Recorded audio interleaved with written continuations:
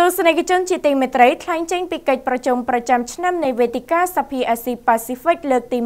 27សម្ដេចវិបលសេនាភក្តីសៃឈុំប្រធានប្រសិទ្ធិកម្ពុជាបានថ្លែងថាការមិនប្រើប្រាស់អធិបុលគៀបសង្កត់ផ្សេងផ្សេងដើម្បីបម្រើផលប្រយោជន៍ភូមិសាស្ត្រនយោបាយការមិនរត់ប្រណាំងសភាវុធនិងការមិនប្រើប្រាស់កម្លាំងយោធាសិតតែជាកត្តាអនុគ្រោះដ៏កប់ប្រសើរបំផុតសម្រាប់តំបន់និងពិភពលោកទាំងមូល។ សម្ដេចវិបុលសេនាភក្តីសាយឈុំប្រធានប្រសិទ្ធិកម្ពុជាបានថ្លែងថាការមិនប្រើអធិបុលគៀបសង្កត់ផ្សេងផ្សេងដើម្បីបម្រើផលប្រយោជន៍ភូមិសាស្ត្រនយោបាយការមិនរត់ប្រណាំងសពាវុធនិងការមិនប្រើប្រាស់កម្លាំងយោធាសុទ្ធតែជាកត្តាអនុគ្រោះដ៏គាប់ប្រសើរសម្រាប់តំបន់និងពិភពលោកទាំងមូលសម្ដេចប្រធានប្រសិទ្ធិបានថ្លែងបែបនេះនៅក្នុងឱកាសដែលសម្ដេចអញ្ជើញចូលរួមនៅក្នុងកិច្ចប្រជុំប្រចាំឆ្នាំនៃវេទិកាអាស៊ីប៉ាស៊ីហ្វិកលើកទី27ដែលប្រពធ្វើឡើងនៅសន្តាគារសុខាអង្គរខេត្តសៀមរាបនៅព្រឹកថ្ងៃទី15ខែមករាឆ្នាំ2019សម្ដេចវិបុលសេនាភក្តីសៃឈុំបានថ្លែងបញ្ជាក់យ៉ាងដូចនេះថា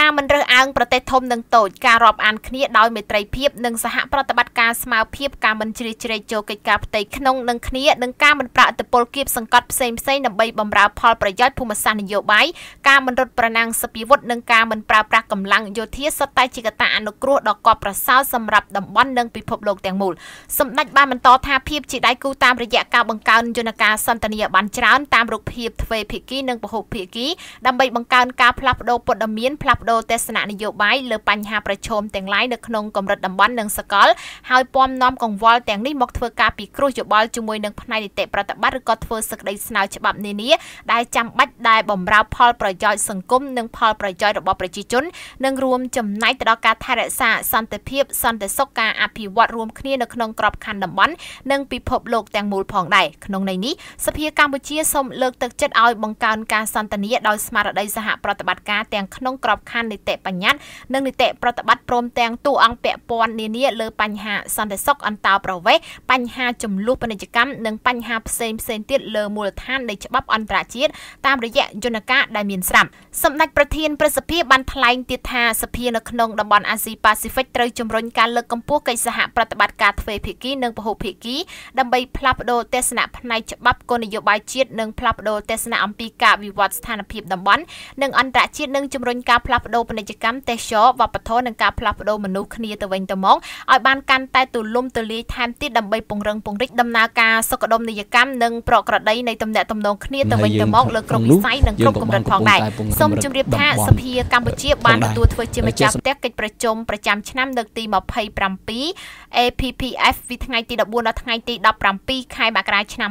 2019ក្រោមប្រធានបទពង្រឹងភាពជាដៃគូសភាដើម្បីសន្តិភាពសន្តិសុខនិងការអភិវឌ្ឍប្រកបទៅដោយចីរភាពវេទិកាសភាអាស៊ីប៉ាស៊ីហ្វិកជាបណ្ដុំស្ថាប័ននីតិបញ្ញត្តិមួយដែលបង្កើតឡើងនៅក្នុងគោលបំណងជំរុញសុខសន្តិភាពនិងការអភិវឌ្ឍដោយចីរភាព APPF បានបង្កើតឡើងនៅឆ្នាំ1993នៅក្នុងប្រទេសជប៉ុននាបច្ចុប្បន្នគឺមានសមាជិកចំនួន27ប្រទេស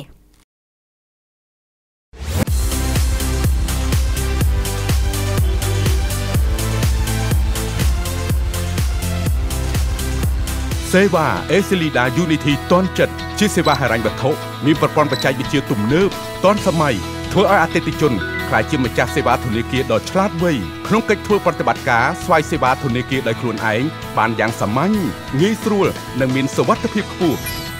ប្រើប្រាស់សេវា Ecelida Unity ទាន់ចិត្តលោកអ្នកចំណេញពេលវេលា កាត់បន្ថយចំណាយពេលធ្វើប្រតិបត្តិការទូទាត់ថ្លៃទំនិញសេវាកម្មផ្សេងផ្សេងតាមរយៈទូរស័ព្ទចល័តតខ្លួនរបស់លោកអ្នក scan ជាមួយ QR code ដែលមានដាក់តាំងនៅទីផ្សារនិងហាងទំនិញនានាជាច្រើនកន្លែងយ៉ាងរហ័សទាន់ចិត្តបានគ្រប់ពេលវេលាដោយមិនចាំបាច់ចំណាយពេលរងចាំរាប់ប្រាក់អាប់ប្រាក់ព្រួយបារម្ភពីការបាត់បង់ប្រាក់ឬប្រឈមមុខនឹងក្រដាស់ប្រាក់คล้ายៗ ប្រជាធនាគារដែលលោកអ្នកជឿទុកចិត្ត